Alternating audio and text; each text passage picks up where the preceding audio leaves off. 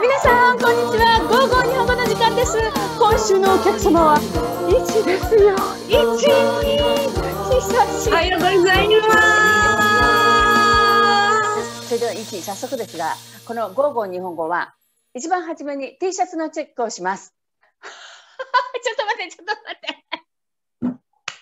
知ってる桜前線プロジェクトを作るときにあ、これはうん字が大きすぎるから、うん多分日本であまりかっこよくないかな。だから、小さいバージョン作ります。今の桜前線プロジェクトの T シャツです。でそれはあの試しに作ったんだそうです。でそれをイチは買ったのねはい。じ1しか持ってないのねじゃあね。先生はその桜前線プロジェクトのスタンダードのタイプを今日着ようと思ったのよ。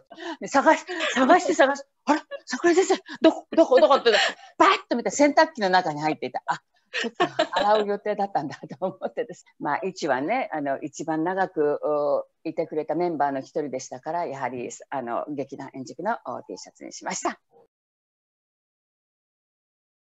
円熟に入るときにもう絶対私は舞台美術部と思っていたの。演技部に入りたかったです。でも、うん、舞台美術部と衣装部と演技部の説明するとき、あの時はアレク先輩、舞台のことを説明して、で、いろいろな舞台の仕事を見せました。その時は、ああ、舞台ってかっこいいですね。で、変わります。じゃあ雪女の時一は黒子だったの？黒子です。その後に衣装部に移ったんだけどどうして舞台美術部から衣装部に変わりましたか？あうん雪女の時、舞台美術はすごかったと思います。ミスランも、ヤニアさんも入りました。あの時も、ワユもいたんだワユさん？ランダもも入りました。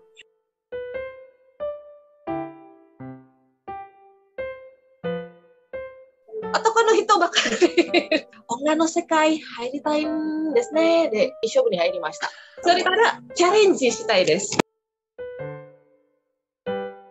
着物は重いよね。体力仕事だよね。はい、そうですね、先生。着物は高いイメージですから、触る時も怖いです。ああそうか。重いだけじゃなくてあーこの着物高いよねと思うと気をつけなきゃ。ボールペン持ってたらまた会計先生怒られちゃうみたいな。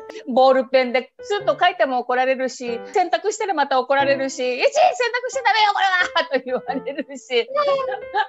ね。もういろいろたくさんありましたね。本当に。でもあれだけ大きな勝負というチームを守ってくれてそしてあれだけたくさんのねあの着物といろんなものを守ってくれて本当にありがとうございましたね一ね。実は恥ずかしがり屋です。だから新しい人に会う時、恥ずかしいです。衣装部スタートするとき、ほとんど新しいメンバーですから、私は実は難しいです。しかも毎年年齢のギャップが広がりますから、みんなそれはあるかもしれないですね。だってハリオと今の新しいメンバーって12歳とか違うわけだよね。そうすると本当に話す内容とかリアクションとかちょっとギャップがあるかもしれないよね。じゃあ逆に楽しい部分って何ですか？新しいメンバーは最初からゼロです。着物のこととか、日本の化粧のこととか分かりません。でも、そのメンバーたちがうん諦めませんから、で、はい本公演の時、すごくなります。例えば、フィトリーとか、ああいうカリスマとか、一番、一番楽しいです。一番感動させます。それは多分あの一の一番大きい教えのできないことはないっていうのがみんな衣装部の中でね根付いているんだと思いますね。日本髪って幾国の時からだっけ？一年の時です。ね、それまではにゃんこまでは日本髪はなかったんですよね。あの時は先生はいやー全部カツラ買うとしたらいくらになるんだろうと思ってたんだけども一たちが「いや先生私たちでやってみます」って言って髪の長いメンバーは全部日本髪を作ってジルバップの子たちのためにはカツラを自分たちで作ってグッジョブでしたねあれどうやって練習したの日本髪の練習は。メンバーが一人一人、妹にとか、お母さんに体験して、で、発表します。あの時はヨラ今の演じるの日本語はヨラちゃんのおかげで。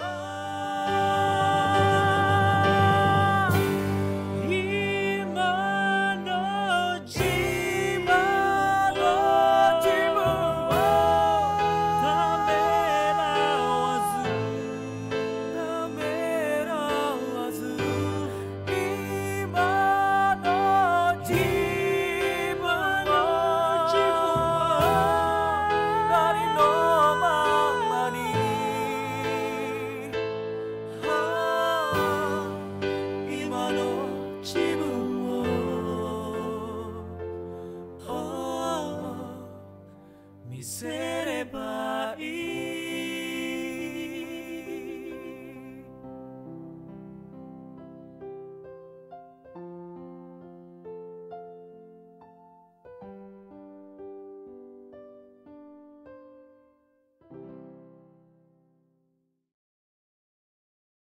猫の玉役をやりましたね。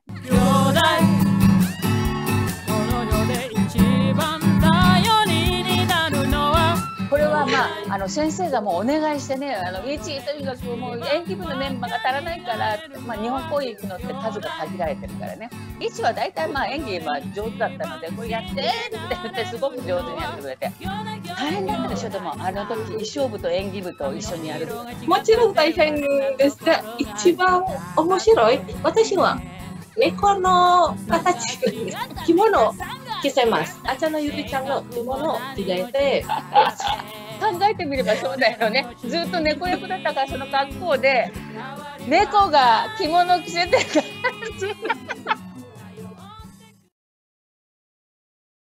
無駄なスペースを作らないようにもうみんなに指示しながら、あその衣装部の箱取って、あ、違う違う、それじゃなくて、その長い方ねっていうの、うわーっと言いながらみんな動かして、きっちり、もうトラックの中に本当にもう隙間がない。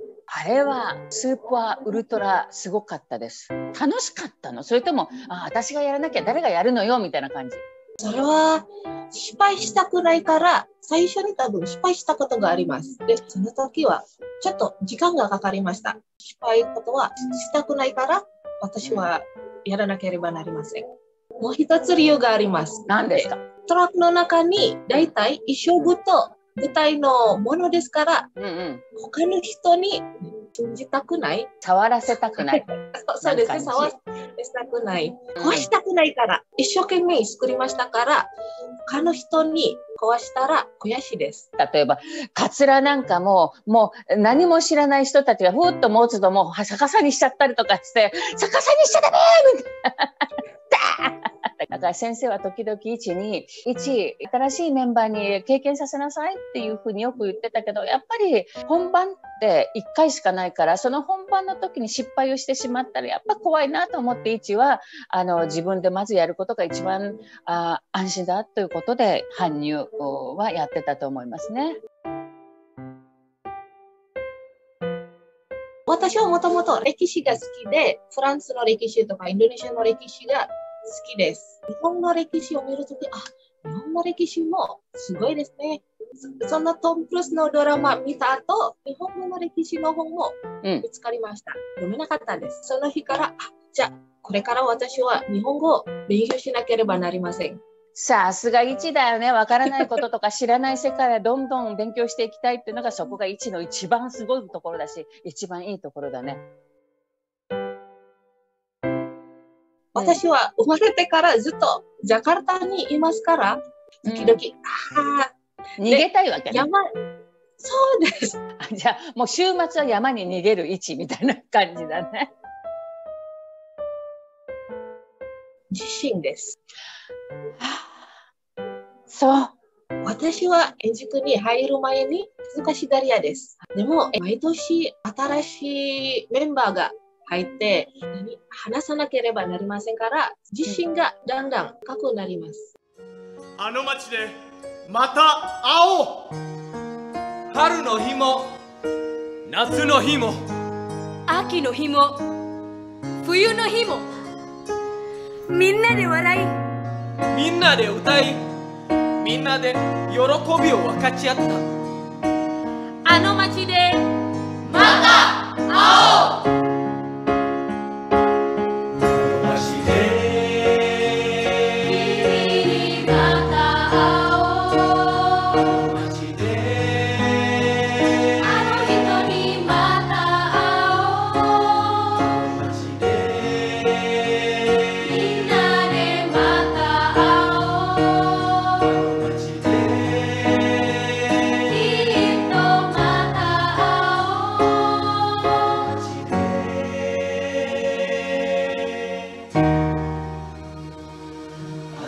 She did.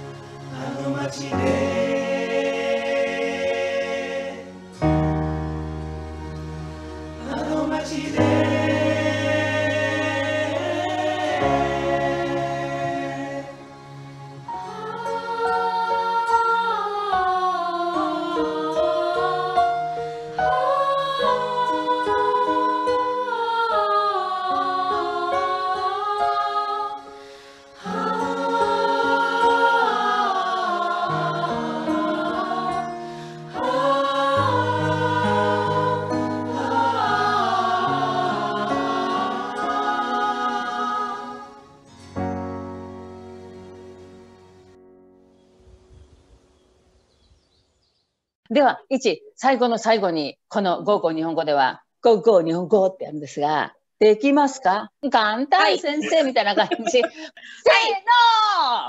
Go Go 日本語はい今日の Go Go 日本語ゲストは、イチでした。イチはね、今本当は山に行きたいんですけれども、ちょっとなかなか行けないということで、いろいろな語学を勉強しているということです。本当にイチありがとうございました。はい、ありがとうございました。